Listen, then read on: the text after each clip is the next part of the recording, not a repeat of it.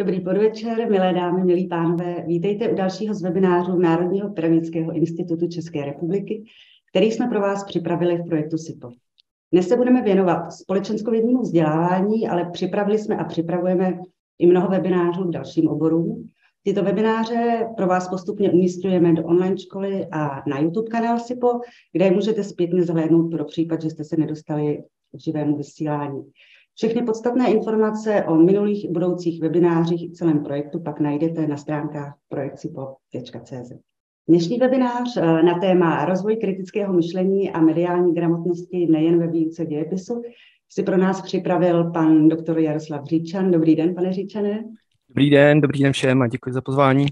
Současná doba je charakterizovaná právě eh, neomezeným přístupem k informačním zdrojům, které se liší které se liší svojí důvěryhodností, svojí celistvostí a také tím, jestli nás chce někdo manipulovat. A uh, lidé podle stroma kolektivu potřebují rozlišit mezi tím, co ví a co si myslí. Lépe řečeno jsou přesvědčení, že je pravda nebo nepravda. A my totiž obvykle uh, tato svá přesvědčení nereflektujeme. To znamená, jestli pro to, co si myslíme, že je pravdivý, disponujeme nějakými důkazy, jestli to máme nějakým způsobem ověřené. Často v praxi říkáme, že na to máme svůj názor a Právě tady si myslím, že bychom se měli jako bavit eh, v úvodu nad tím, eh, jaký je rozdíl mezi názorem a znalostmi, protože to je celkem dost takový klíčové. A ještě v úvodu bych měl teda zmínit, že eh, co se týče teorie, tak mám tady asi 15 minut a zbytek budou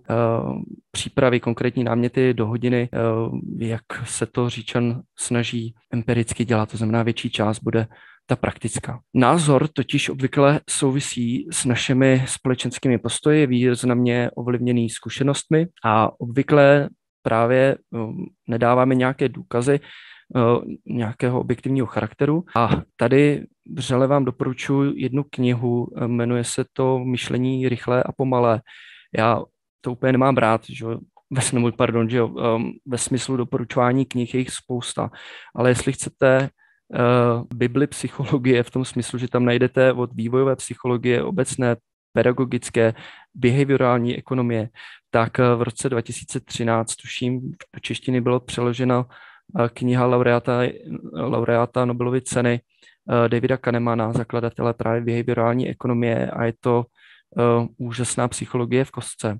A právě proč uh, mě to teď vlastně i napadlo, je uh, kvůli tomu, že naše zkušenosti je vlastně řetězec provázaných kognitivních, afektivních a uh, konativních reakcí na určitých fyziologických reakcí na nějaký podnět. Já kdybych teď třeba řekl slovo, já nevím, koprovka nebo uh, lečo, tak uh, vy třeba z mládí můžete mít zafixovaný, že vám to chutnalo nebo nechutnalo a já když jsem řekl to kognitivní, to slovo, to abstraktní, třeba to koprovka, tak uh, někomu se vybavily třeba příjemné pocity, že mu to vařila maminka, žena, já nevím. A zároveň jste na to třeba dostali chuť a uh, začali jste třeba víc slinit, nebo naopak někomu, kdo uh, komu to nechutnalo, nebo z nějakého důvodu tak se asociovali nepříjemné pocity a třeba i nějaká nevolnost z žaludku. A, a právě názor je silně ovlivněný tady těmi jakoby propletencem, racionality a emocionality a fyziologických reakcí na podněty. A rozdíl mezi tím názorem a věděním je ten, že eh, v podstatě vědění má důkazy, má nějakým způsobem eh, poskytujete eh, té druhé straně při nějaké argumentaci odvolání na další zdroje. A v dnešním příspěvku, tedy ať si vyjasníme to pole působnosti, tak eh, já rozhodně eh, tady nebudu sahat eh, do pravomocí oborových didaktiků lomeno učitelů, kteří si prostě volí ta témata nejlepším svědomím pro svou výuku, ale budu se bavit o tom, co zajímá zejména pedagogickou psychologii a to je rozvoj určitých strategií, které jsou přenositelné, a velmi často nemusí být ani svázané toliko s doménou a souvisejí s tím, co možná znáte v odborné literatuře nebo, nebo nejen v odborné literatuře jako takzvané měkké nebo jemné dovednosti. Něco, co můžete aplikovat napříč vyučovacími předměty nebo doménami. Než se k tomu dostanu, tak eh, jeden než termín. eh, metainformace. Na konci vlastně už 70. let, ale postupně byla rozprancovaná uh, Kinchova teorie, Walter Kinch založil určitou jako, teorii zpracování informací, když čteme nějaký text. Říkal, že v hlavě se nám utváří dvě takzvané mentální reprezentace. Jedna je svázaná s textem a druhá je takzvaná situační, přičemž ta textová je svázaná s povrchovými strukturami, to znamená doslovně vyhledávanými uvedenými informacemi v tom textu, ale zároveň uh, implicitně uvedené informace v tom textu, taky to, když čtete mezi řádky. Ta situační je vlastně spojení to A, B a vašich předchozích znalostí nebo s jiným zdrojem v 70. a v 80. Um, tahle teorie rozhodně byla významně platná, jenomže čím je současná doba charakterizovaná? Vy máte nespočet zdrojů k jedné jakoby věci. A tady se právě musíme bavit, že ta Kinčova teorie už není úplně dostatečná v současném době uh, při uh, vlastně, když člověk čelí vícero, vícero zdrojů. Uh, termín metainformace souvisí se zákulisními informacemi a aby jsme je rozklíčovali, tak potřebujeme použít dvě, tři strategie. Já se budu bavit o dvou, zdrojování a potvrzování. Co, je, co teda řadíme mezi ty metainformace? No, kdo to vůbec napsal ten text? Je expert, je to like, je to občan, je to voják, je to civilista? Jaké jsou motivace autora? Chce nás o něčem jako přesvědčit, něčemu se uh, třeba vyhnout, uh, aby jsme si něco koupili? Jak se autor dozvěděl o události? Má to z třetí ruky, čtvrtý ruky, z pátý ruky? Kde a kde vznikl dokument? Eh, o jaký typ dokumentu se jedná? Jaká je jazyková forma dokumentu? Používá emocionální slova nebo neutrální slova? Um, píše, uvádí tam konkrétní údaje nebo mluví vágně, obecně. Je autor zaujatý, třeba v tom textu, jestli si třeba protiřečí. Uh, odkazuje ten autor na jiné zdroje. A pak tady máme strategii potvrzování, která je vlastně hledání schod a rozdílů mezi eh, jednotlivými zdroji. A my výzkumně z oblasti pedagogické psychologie víme, že eh, žáci ani studenti, a mimochodem i vysokoškolští, eh, nejdou po tady těch metainformacích. Oni mi jako celkem jedno, kdo to jakoby napsal, případně se odkážou jenom jako na autoritu, a jestli má víc třeba titulu a tím to jako končí.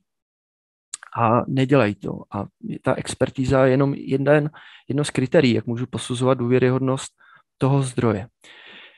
Eh, právě ta analýza informací, eh, ten příspěvek se tedy nazývá, jak rozvíjet kritické myšlení a mediální gramotnost nejen ve výuce dějepisu. Tak tady ta analýza meta, meta informací právě hraje centrální roli při tvrzení z médií takže mediální gramotnost zde máme. A ta samotná analýza vlastně je jednou z forem kritického myšlení. Ehm, já tady nechci slovíčkařit, ehm, prostě máte různé koncepce kritického jako myšlení a jednou z, jejich, eh, z jeho stránek kritického myšlení je právě analýza důvěryhodnosti, eh, zaujatosti toho, eh, toho zdroje. Takže kam mířím úvodu, v teoretickém úvodu. My se vlastně jako bavíme o tom, kdy uh, žák nebo dospělý, to je úplně vlastně jako jedno, něčemu přiskne atribut znalost. Lépe řečeno, že řekne, že tohle jako je pravda.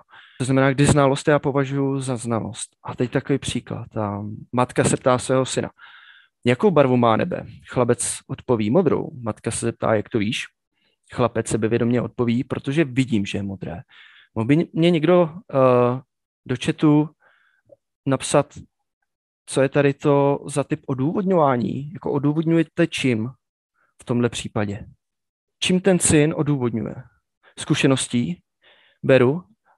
Uh, co vidí, takže smyslem. Jo, oba dva příklady uh, superový. Takže uh, odůvodňuji zkušeností prostřednictvím těch smyslů, protože já výjdu ven a to nebe se jako nemění, nebo může být třeba šedý, ale prostě, když tam nejsou oblaka, tak uh, odůvodňuje, uh, odůvodňuje smysly, lomeno zkušeností. Ale teď se vemte, jak smysly můžou jakoby velice klamat. Vy půjdete k nějakému dietologovi, omlouvám se, nevím, jestli to je vůbec slovo, odborníkovi na dietu, a on vám řekne, jeste primárně zásaditý potraviny, nejeste kyselý potraviny. No a vy si kousnete do citronu. a vy zjistíte, že chutná kyselé a vyřadíte ho z jídelníčku na základě odůvodnění smysly, že chutná kyselé, tak ho nebudu jíst, protože je kyselé. Přestože v těle se chová vlastně zásaditě. Tak jenom příklad toho, kdy smysly mohou uh, klamat. Maminka má vždycky pravdu. Tak, to je odůvodňování čím? Prosím. Autoritou, super. Přesně tak. Co bude toto? Děda má spíše pravdu než táta. To se opravdu výzkumně přesně tak věkem.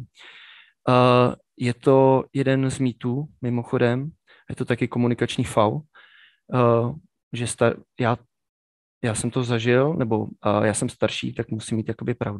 A, uh, pardon, další, tady si vezmu slovo já, zdal je daný výrok vnímán správně a v tom originále uh, feels right, jako pocitově správně. A tohle je hrozně zase jako nebezpečný.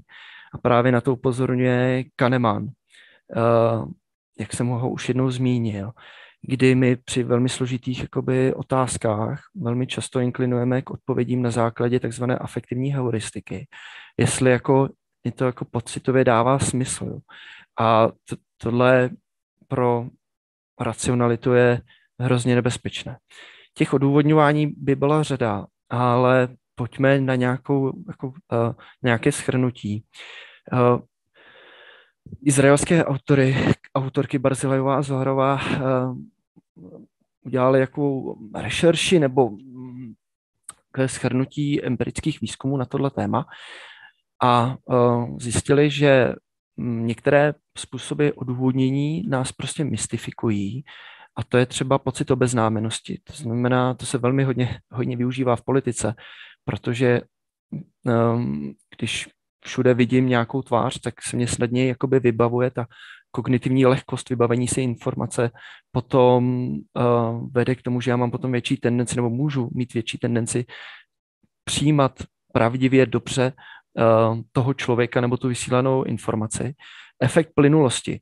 Zase uh, mám větší tendenci přijmout něco za pravdu, nějaký text, vyjadřování, když uh, se mě to třeba dobře čte, nebo snadnost použití, když si můžeme jako třeba i představit, uh, jak se to dá jako někde použít. Délka textu. Mám větší tendenci uh, přijmout něco za pravdivé, objektivní, uh, když to není tak dlouhé. A nebo tady ještě jeden příklad, když třeba ta webová stránka je hezká, a to tam čtu, nebo ta knížka je hezká a vy, vyvolává to určité líbivé pocity. Já nechci říct, že jako nemůžete napsat hezkou knížku, aby byla pravdivá, jo? to vůbec ne. Ale my výzkumně víme, že děti potom tomu, um, nebo i studenti, dávají větší, větší váhu a to je právě to nebezpečné. Naopak jiné postupy uh, při odůvodňování souvisí s rozmanitými učebními aspekty, jako je paměť, strategie, budování znalostí. A mezi všema těch uh, jako efektivních přístupů je řada a patří tam i strategie zdrojování, potvrzování a kontextualizace. Já jsem si bral zdrojování a potvrzování z toho důvodu, že jsou to takzvaně obecně doménové strategie, lépe řečeno je můžete využít napříč uh, jednotlivými disciplínami, jak už jsem zmínil. A než se pustíme do ukázky pracovních listů, tak uh, jeden příklad ze studie Weinberga. Možná mnozí znáte, je to eh, Sam Weinberg, eh, etalon didaktiky dějepisu a dost eh, ty jeho výzkumy souvisejí s pedagogickou psychologií, který vlastně jeden z prvních dokázal, že skutečně ty strategie zdrojování a potvrzování, konkrétně tady to zdrojování, jsou obecně doménové. On vzal dva experty, historiky, z nichž jeden byl odborníkem na uh, americké dějiny 18. století a druhý nebyl odborníkem.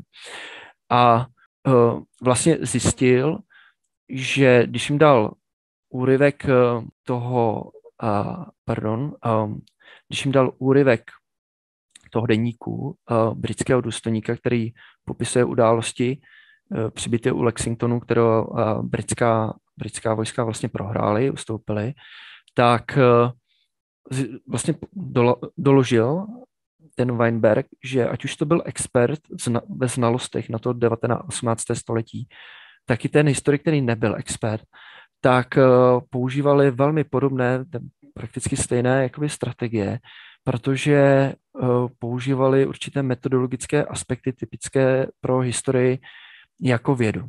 A jestli někomu teď jako probleskou hlavou, jestli Říčan by po vás chtěl, abyste učili metodologii historie svých žáky a studenty, tak odpověď je ano. Ano.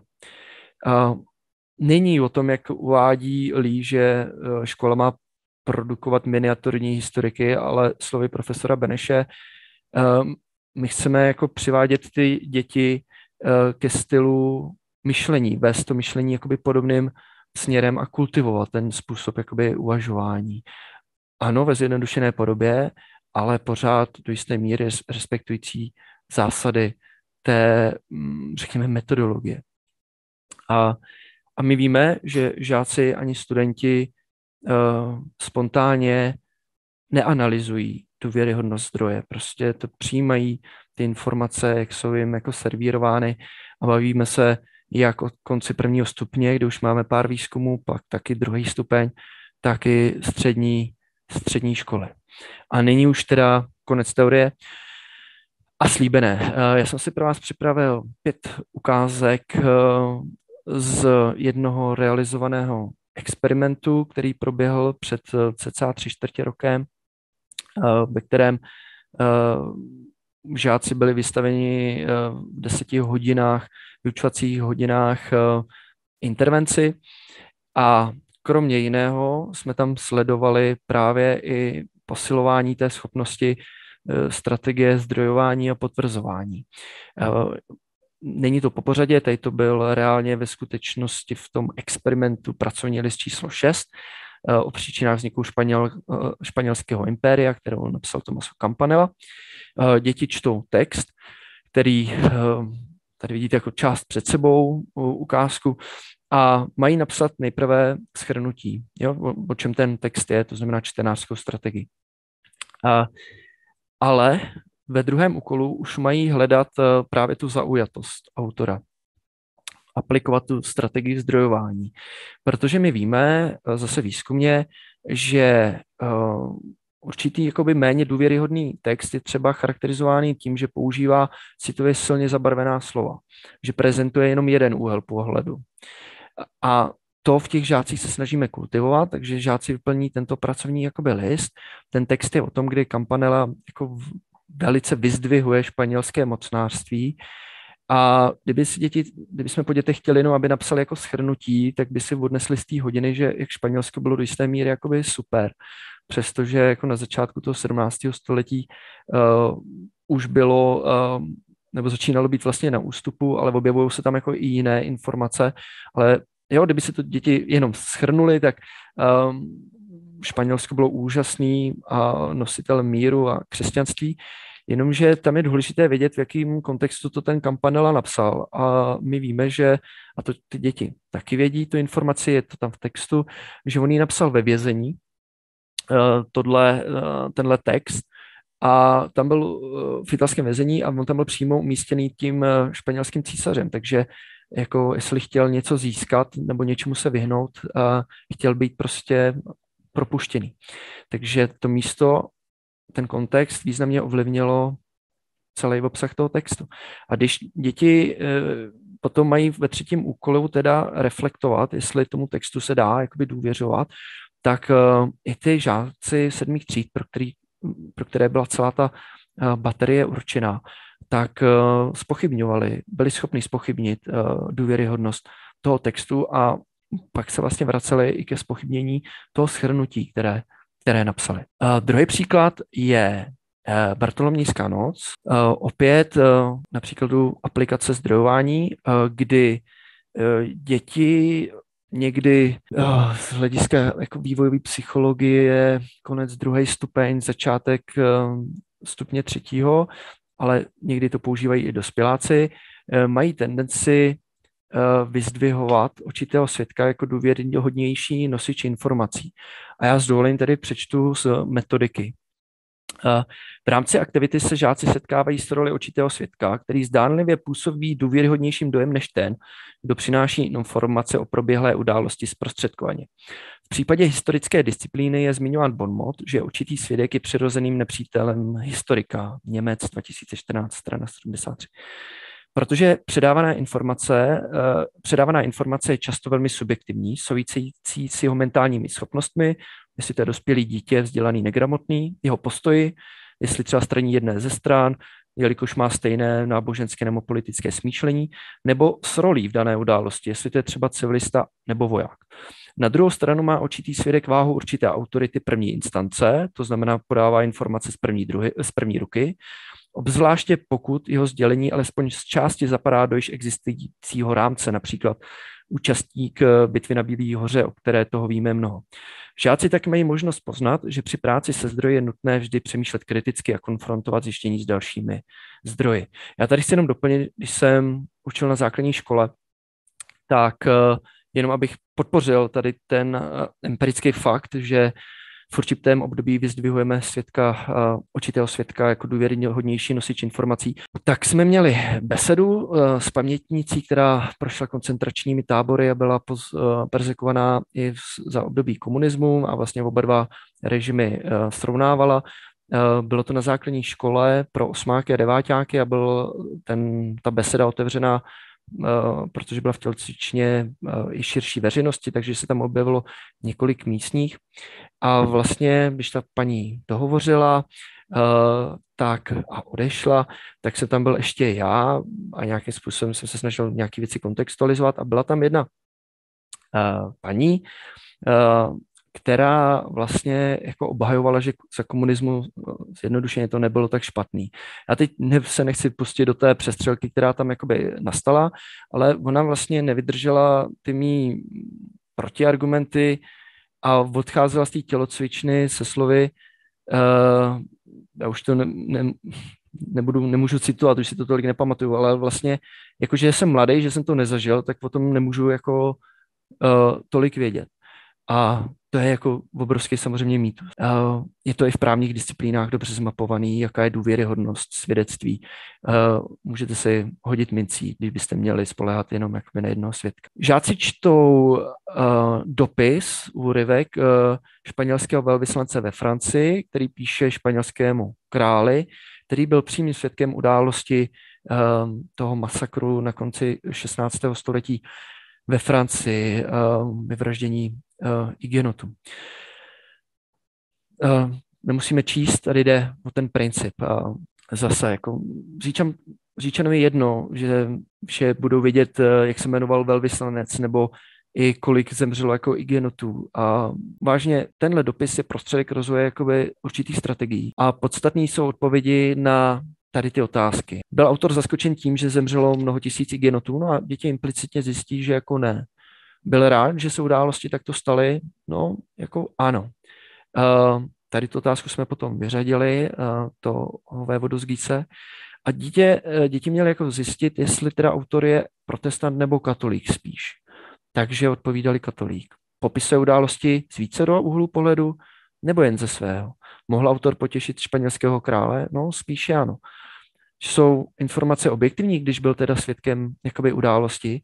A zase děti v sedmé třídě na základě jakoby těch předchozích odpovědí na výše uvedené otázky velice jako spontánně uvedli, že ne. A proč? Protože byl zaujatý a přál jedné ze stran. A my tady kromě toho děti učíme, no se snažíme učit, že eh, aby nepaušalizovali, to, že určitý svědek teda není důvěryhodný, aby si tady toho neodnesli. Ale to, co jsem zmínil, když jsem četl ten, tu ukázku metodiky pro učitele, že záleží hrozně na kontextu a na pozici toho určitého svědka. A dětem tady nabízíme uh, určité informace o tom svědkovi a děti mají potrhnout, které informace pokládají za nejdůležitější o tom autorovi toho dopisu, které značí jeho zaujatost. Tak eh, jak se jmenoval ale jakýho byl náboženství, jak mu to psal, asi jo, nebo kolik za to dostal peněz, máte tady úplně irrelevantní jakoby, uh, nabízenou otázku. To znamená, uh, při um, spolehání se na důvěry, důvěryhodnost toho svědka musíme brát v úvahu nejenom jeho motivy toho svědka, ale právě tu jeho pozici. Třetí příklad, České stavské postání a hodnocení bitvy na Bílé hoře a jejich důsledků. Tohle je vlastně předposlední pracovní list a subjektivně už trošku těžší, kdy děti dostanou, nebo třída se rozdělí na dvě části. Jedna skupina dostane prameny nebo materiál A, B a druhá skupina dostane C, D, přičemž se jedná o dva texty, kdy jeden je napsaný zjednodušeně odborníkem a druhý jsme našli na Aeronetu. Já tedy dětem jako nechcem prozradit, to by bylo zase jako autoritativní odůvodňování prostě autoritou, že Aeronet je dezinformační tečka, že si to odnesli jako uh, od Říčana. Tohle nechceme. My chceme, aby ten, ty tři odstavce analyzovali. Děti mají teda přečíst ty texty a mají jako ve škole uh, zakroužkovat, jak moc subjektivně si myslí, že lze tomu textu důvěřovat, které, který hodnotí stavovský postání a Bílou horu. Ale zároveň mají zdůvodnit, a tady bychom byli u aspektu metakognice, přemýšlení o přemýšlení, zdůvodnění své odpovědi, podle čeho určil ten žák nebo žákyně svoji hodnotu té důvěryhodnosti. To je tady. Uh, já zatím v tuhle chvíli to uh, vlastně neanalyzujeme. Uh, dětem teď bude mít slovo učitel, prezentuje následující schéma, který nevím, jak se vám, v jaký kvalitě se vám uh, vizualizuje, tak já se to pokusím uh, nějakým způsobem komentovat. Uh, kdy dětem, vlastně to je výklad teď učitele, uh, říká, na základě jakých kritérií je možné určit eh, relativní důvěryhodnost toho tvrzení. Tak, eh, autor, expertíza, pánek, eh, přední český historik, tady, nevíme, anonym. Soudržnost tématu. Důvěryhodný text se zpravidla drží daného tématu, nemíchá více do témat, a zase v tom pánkovi to je krásně vidět, když to rozpolcený text uh, v tom druhém příkladě z toho Aeronetu, uh, který vytváří účelové paralely se současností české politiky, jak se hrbí před cizí mocností, před americkými panter, ne, pantery, pardon, partnery před Bruselem, před Izraelem. Údaje, jestli udává konkrétní údaje pro, pro důvěryhodný text, je jednou jako z indicí práce s konkrétními daty a uh, dají se nějakým způsobem ověřit, když to zase tu pomyslnou důvěryhodnost uh, snižuje text, který jako odkazuje na něco, co nejde uh, nějakým způsobem verifikovat. Jazykový styl, potom jsem tady hovořil, že uh, více důvěryhodný text zase uvádí slova s neutrální konotací, používá odborný styl, Eh, povstání vyústilo v bitvu, používá termíny jako rekatalizace, když to eh, ten méně důvěryhodný styl, ta indikace té nižší důvěryhodnosti může být právě například při užití hovorového jazyku nebo právě uh, užití emocionálně podbarvených slov, hrbí se před cizí mocností nebo se snaží vytvářet senzace. Dnes se o tom vůbec nemluví a tak se o tom mlčí. No a zdroj. Tady máte, že ten zdroj vyšel v encyklopedii, v rámci nakladatelství Historického ústavu Akademie věd. A tady prostě, že se jedná o anonymně provozovaný spravodajský server. Ale můžete tam dát ještě další věci, eh, jestli je třeba prezentován jeden nebo více do úhlu pohledu, jestli se tam dodávají nějaké empirické důkazy, jestli se tam odkazuje na další autory nebo nikoliv. A tady jsou inspirace z těchto titulů, který následně uvedu samozřejmě v seznamu nebo budou uvedeny v seznamu literatury.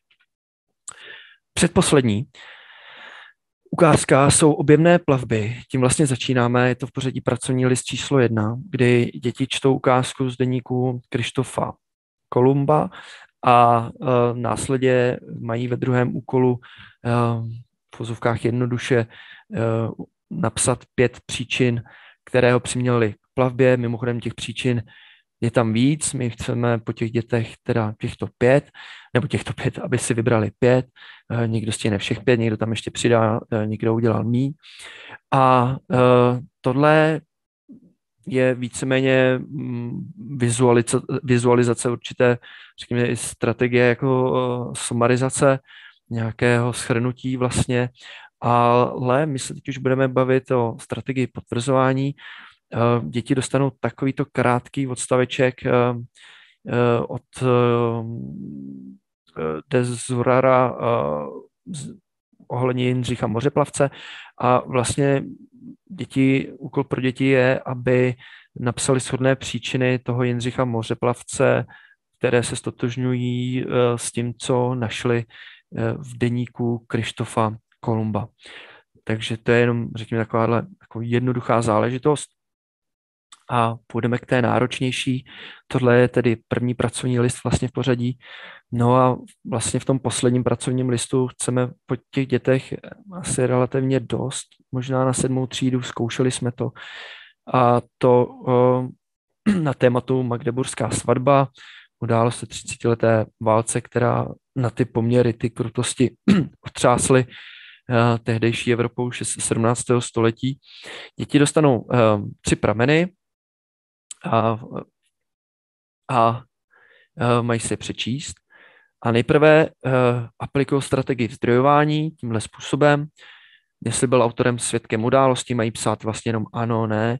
Jestli autor o události píše pozitivně, negativně, neutrálně, uh, mají potrhávat přímo do textu nějaké indicie, které by mohly teoreticky jako naznačit, že se jedná o zaujatý úhel pohledu. Proč o tom takhle píše?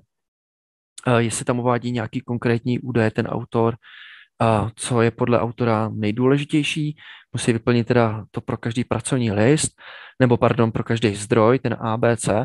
A následně e, dochází k aplikaci strategii potvrzování, e, kdy hledají, v čem si vlastně ty zdroje e, jsou podobné, v čem se shodují a v čem naopak se rozcházejí. A čem si autoři odporují. Eh, jsou lidé a jejich jednání popisování odlišně. Popisuje někdo z nich události jinak, eh, popisují jinak, eh, proč došlo k událostem, v čem se autoři shodují. A kromě toho, že vlastně to je dialog uvnitř mé hlavy nebo uvnitř hlavy toho žáka na základě analýzy těch třech zdrojů, tak využíváme i další jakoby, přístupy pro který se ukazuje jako efektivní proučení a to je vrstevnické vyučování, eh, nebo, nebo nevím, jestli to úplně jde označit za vrstevnické vyučování, ale prostě na konfrontaci toho, jak to mám já se svým sousedem.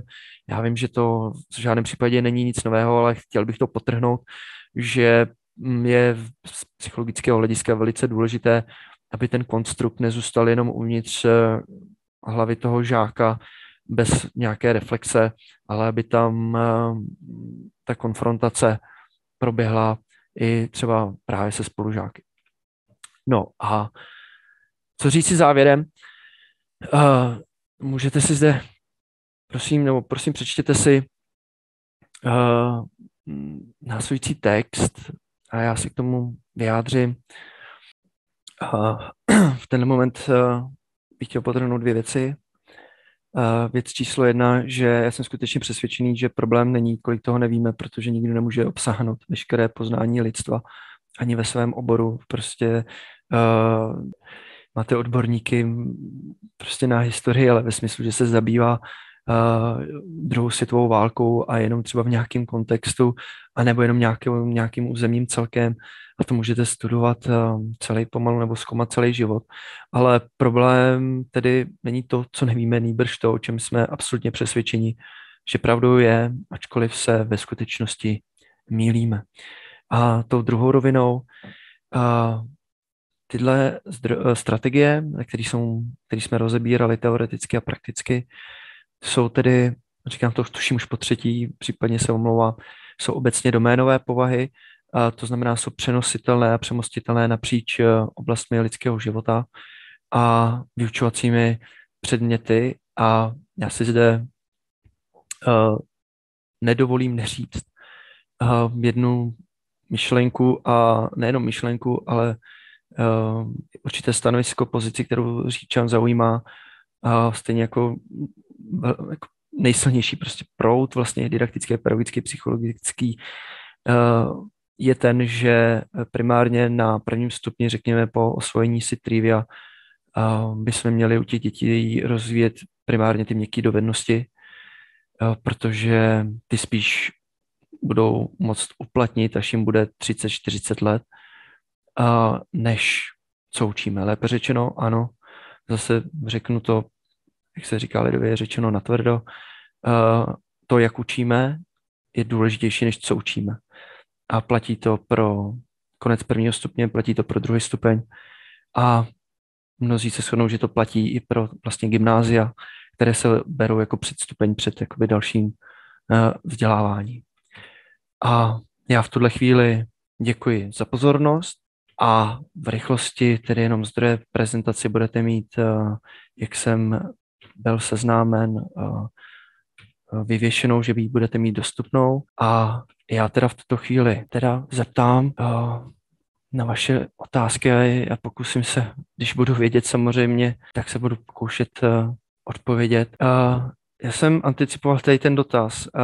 Já jestli se dohodnu s technickou podporou, tak je to zatím nepublikovaný, ale já jsem zastáncem toho švédského modelu, že by se informace měly šířit, jak jen to jde.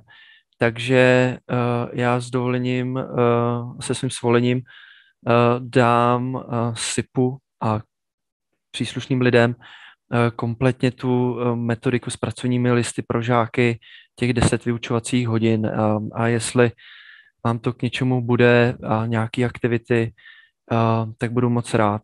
Já chci jenom říct, že já jsem zmínil, že to bylo součástí nějaké intervence a ono jako dávat desetkrát po sobě dětem pracovní listy prostě jako není efektivní, protože stereotyp je mm, vede ke snížení zájmu a vlastně pozornosti. Uh, já moc děkuji za kladný ohlas nebudu vám lhát, že pro 183 zkušených učitelů jsem byl trochu nervózní a já se tak prostě jsem nastavený. A zcela upřímně se přiznám, že je to uh, ne 10 let, 10 let, co jsem učil na základní škole, ale naposledy jsem stál před tabulí v rámci suplu před covidem. A jsem si vědom toho, že člověk, když učí pravickou psychologii nebo didaktiku, tak by v praxi měl být, takže já jsem vlastně vděčný různým projektům, že se do těch škol dostávám zprostředkovaně aspoň tímhle způsobem. Uh, pocit k falšování dějin. Ty jo, no, pane Jaromír Vanča, já, já se k tomu asi necítím uh, kompetentní jako vyjádřit. Já fakt nevím. Uh, protože já jsem z té oborové didaktiky schloznul k pedagogické psychologii a spíš zkoumám, jak některé strategie uh, souvisejí s těmi výstupy dětí. To znamená, jestli dítě potom je schopnější aplikovat ty strategie zdrojování a potvrzování, jestli si třeba na základě uh, toho umí nejenom určitou správně tu důvěryhodnost, když jim dáte další tři dokumenty, s kterými se nesetkali, uh, nebo jak to souvisí s jejich pamětí, nebo jak to souvisí s jejich uh, schopností sebereflexe. Takže já jdu já jdu na, přes ten vnitřní svět uh, toho dítěte, jo. takže se omlouvám, na tohle neodpovím. Kde vyhledávám primární zdroje? Tak, zase bych měl říci, že všechny tady ty, co jste viděli, nevzniklo na základě práce jenom Říčana, protože to prostě nejde.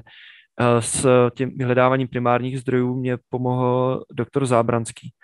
Eh, historik eh, u nás na katedře historie a se zpracováním grafickým těch listů zase pomohli kolegové z katedry výtvarné kultury.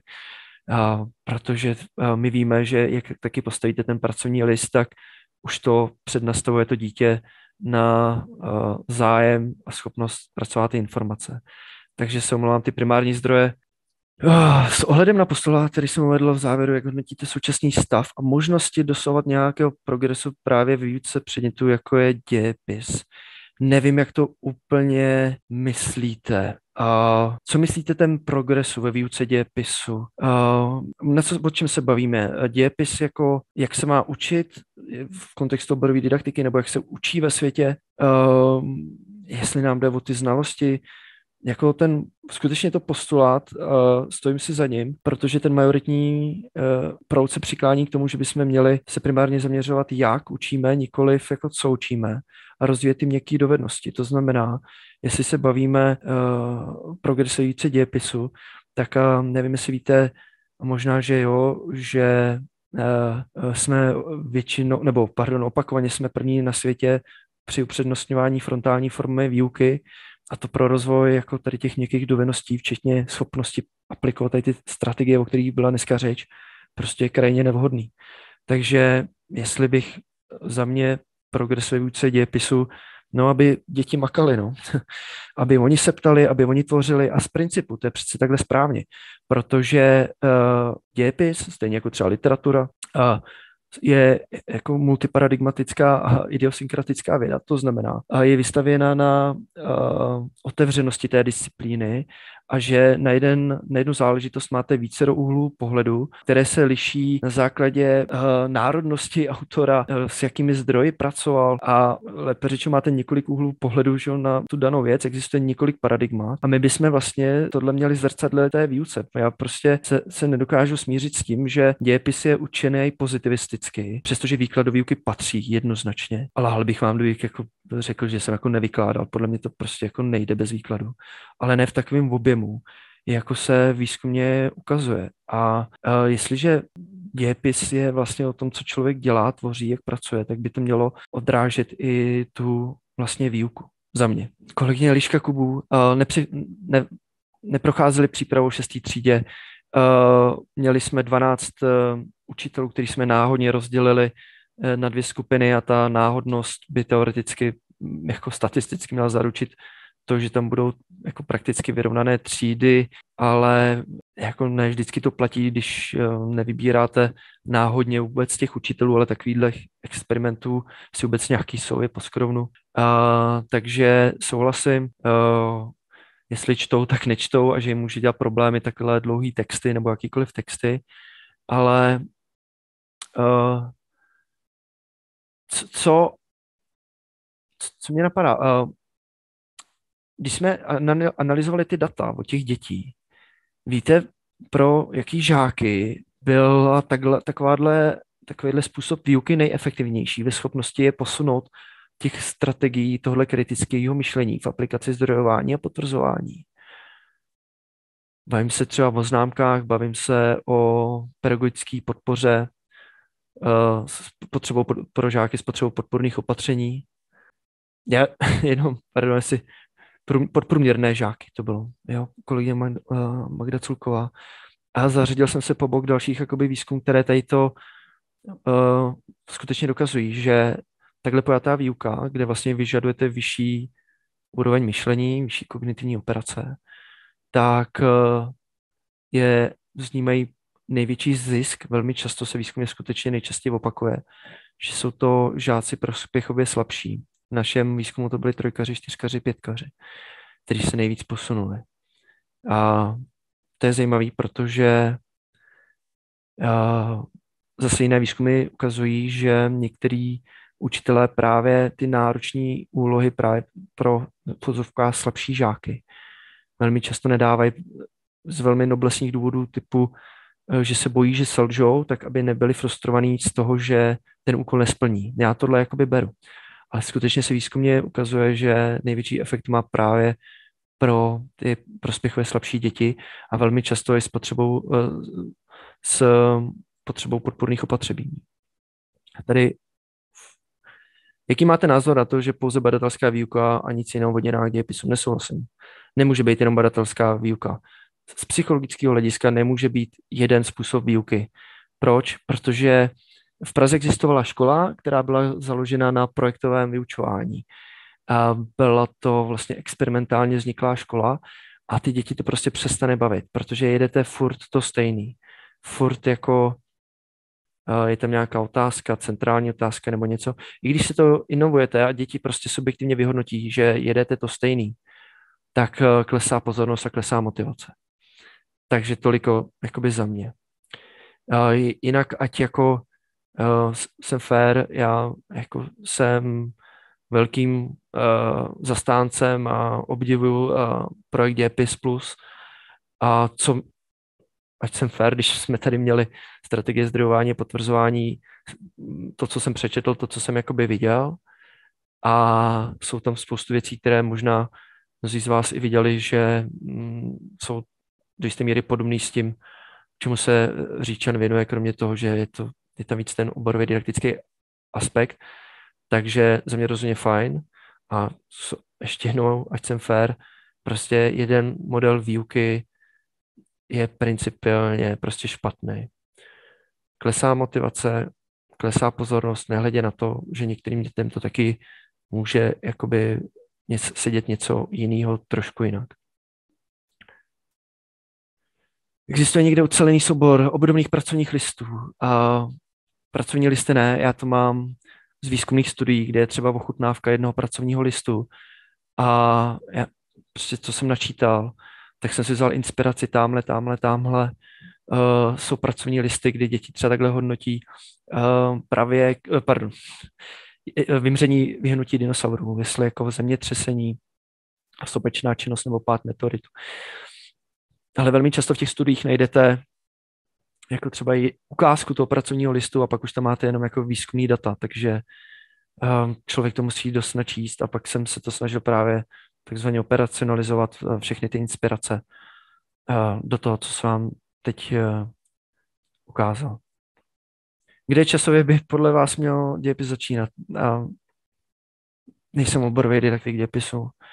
Já si prostě myslím, že primárně uh, škola má připravovat na současnost a budoucnost. To znamená, co z dějin děti nejvíc ovlivňuje. Je prostě posledních uh, jako třeba 20-30 let, že?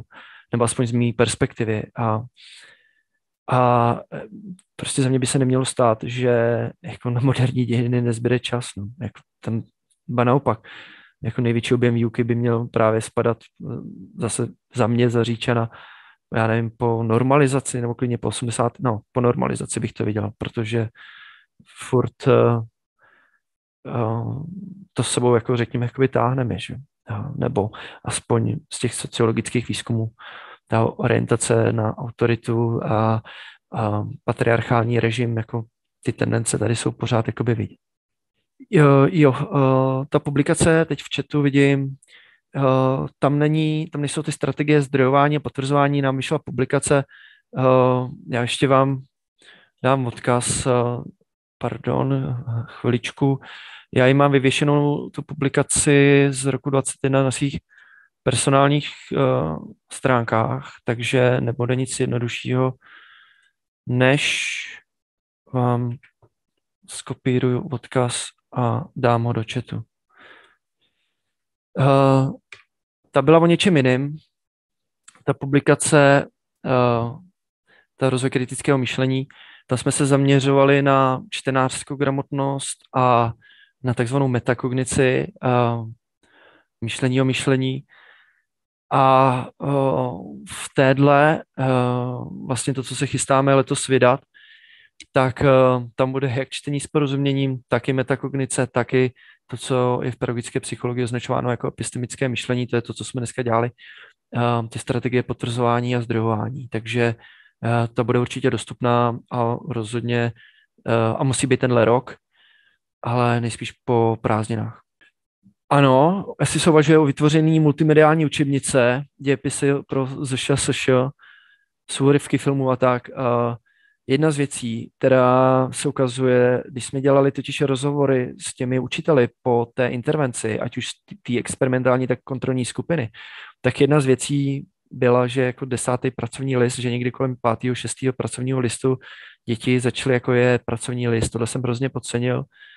A jestli bude nějaký projekt, jako že se rýsuje, že ano, tak já rozhodně půjdu, už, už ho tvoříme ten projekt, přestože ještě není projektová výzva a chceme jít tady s filozofickou fakultou, pedagogickou fakultou uh, do vytvoření učebnice uh, nebo pracovních listů uh, s metodikou pro učitele, která bude v online prostředí nebo jako program v podstatě na, počítač, tablet, který vlastně bude spojovat výchovu k občanství a dějepis a nebo výchova demokratického občana a bude, bude to zaměřený na dějiny právě po roce 70 nebo 89, ještě nevíme, ale je to teď projekt, kde právě chceme využít mluvený slovo, ukázky z filmu, z dokumentu a chceme rozvíjet to kritické myšlení, ať už prostřednictvím té metakognice nebo toho epistemického myšlení, o kterém vlastně dneska byla řeč.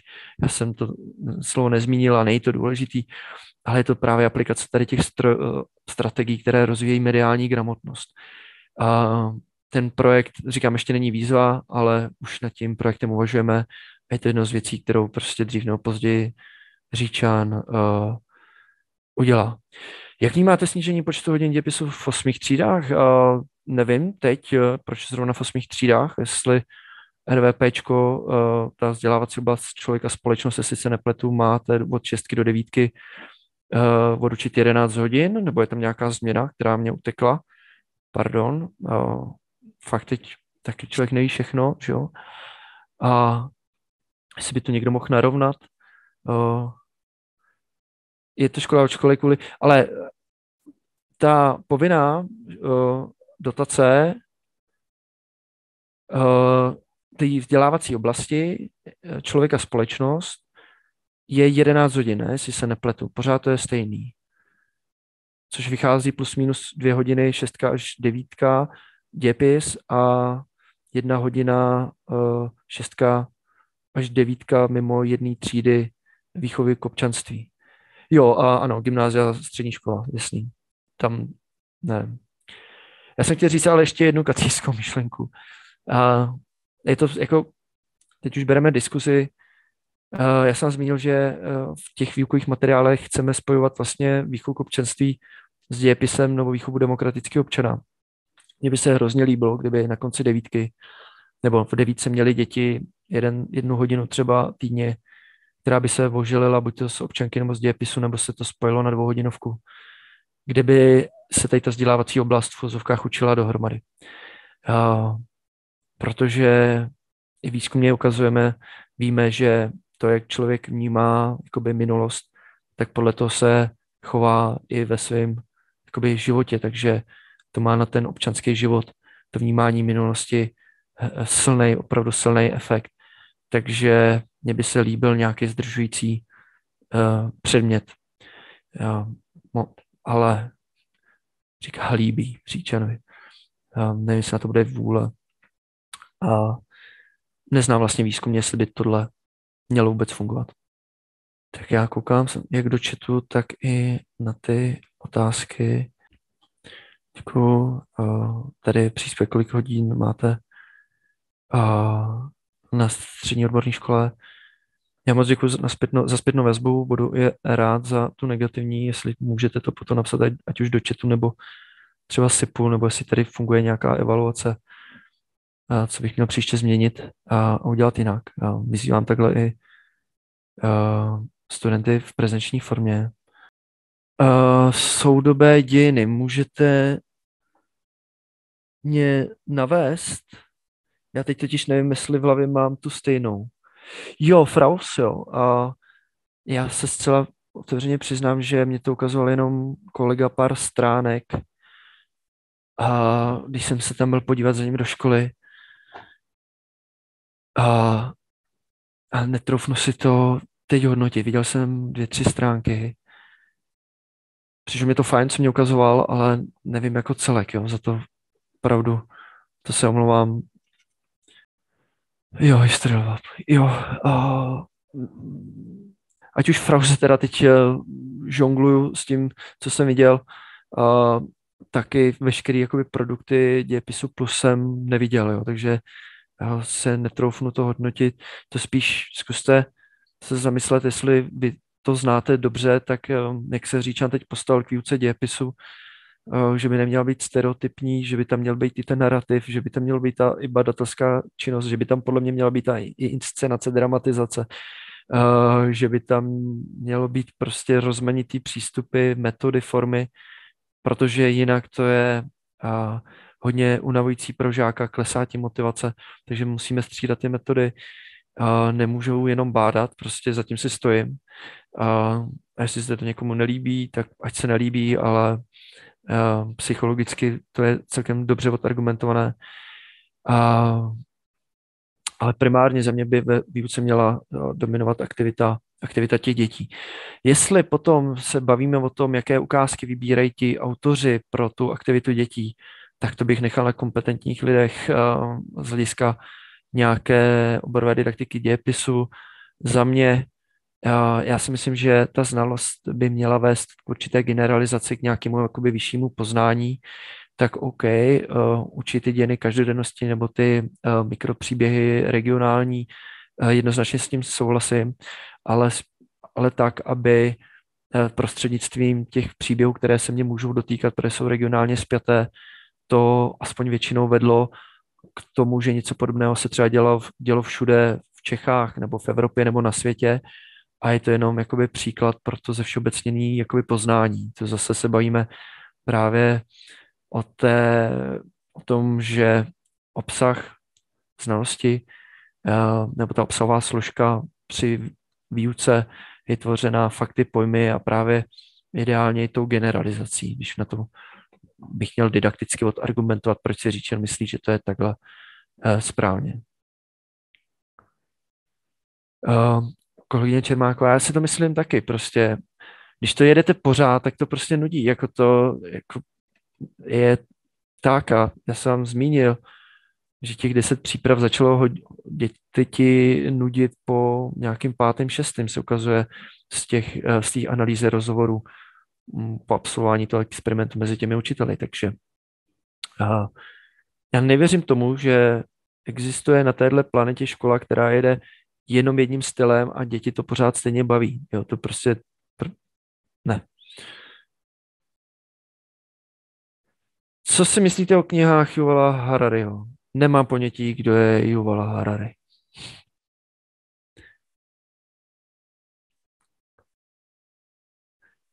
Takže se omlouvám.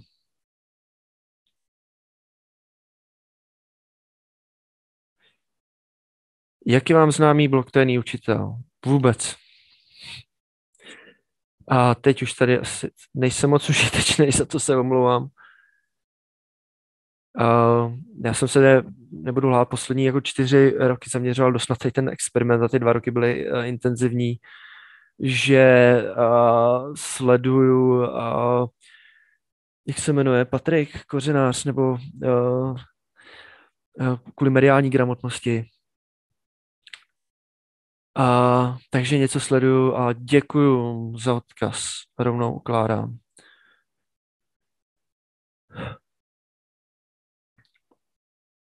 Tady, kdy časově by podle vás měl dějepis začínat? No, Máte kurikulární dokument, že se fakt začíná v tom pravěku. Já si spíš myslím, že je otázka ehm, může být jako kde. Uh, nebo kdy časově, nebo kdyby měl začínat dějepis, ale pro mě hlavně otázka je, kolik tomu budeme věnovat prostoru no, ve výuce. Tohle za mě. Uh, já taky souhlasím tím, tím, že právě tvoří více než 99% času lidstva. Uh, jak to bylo, uh, když vizualizujete život nebo existenci naší planety, tak uh, dinosauři tady byli tři čtvrtě hodiny, jestli se nepletu, je to možný. A člověk je tady kolik, 6 minut? Nebo jsem možná ještě teď řekl hodně moc velký číslo, nebo 30 vteřin, už nevím, by se to dalo si spočítat, že jo. A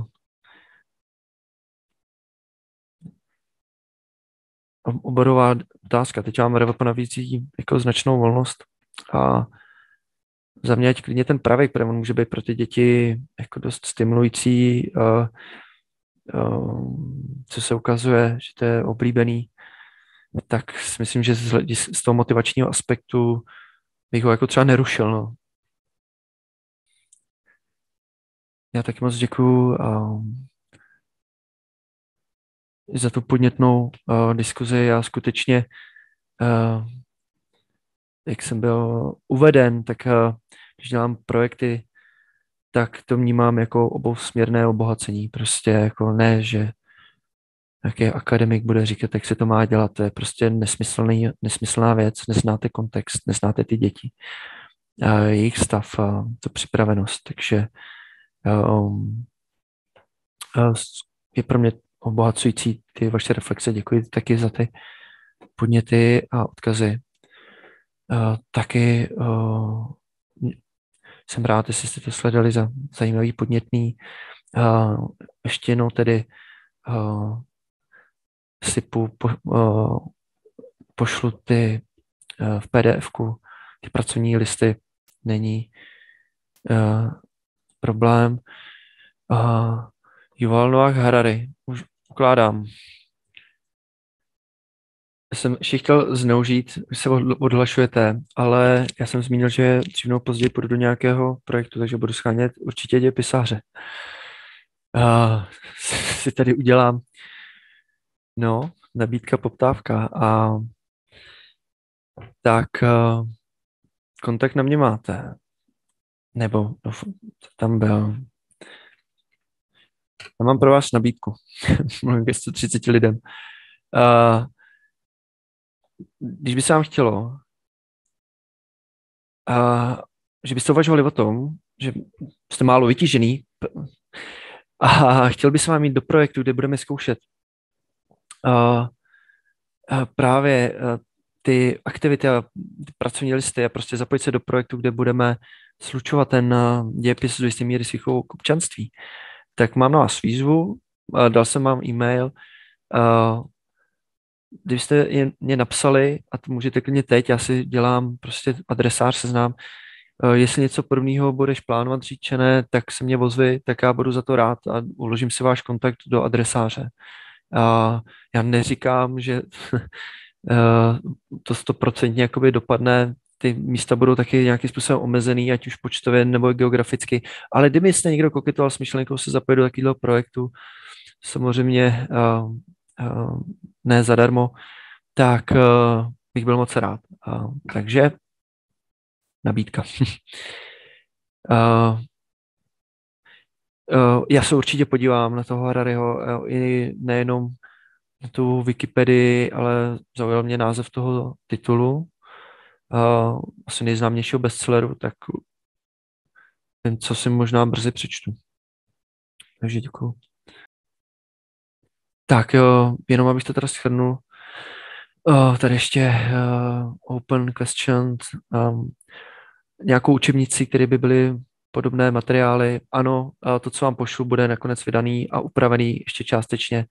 Uh, bude publikováno, ať už uh, v tištěné podobě, tak uh, to bude i pdf -ku. A ono to i musí být, protože to mám svázaný s jednou projektovou, s jedním projektovým výstupem, takže to musí být stoprocentně do konce tohohle kalendářního roku. A, rovněž na tu jestli děti procházely nějakou přípravu v šestý třídě, jsem vlastně odpovídal ne. Vy mě teď posíláte eh, do chatu eh, kontakty, moc krát vám děkuju, ale prosím pragmaticky pro mě. Já si to teď asi nestihnu, jako já nemám ten adresář uh, otevřený. Napište mě mail, že jste byli na webináři a že se dobrovolně hlásíte, já neříkám závazně, jo, ale kdybyste o tom chtěli, až se to rozjede dřív nebo později, do tohle chceme jít, tak, eh, že bych vás prostě nekontaktoval, tak mě prosím, když tak napište jako e-mail, ať to mám, protože chat zmizí, ale na mailu to budu mít uh, nastálo. Uh, tak jo, uh, v tuhle chvíli uh, tlumím, vypínám video, ale nikam neodcházím. Mějte se hezky a ať se vám daří.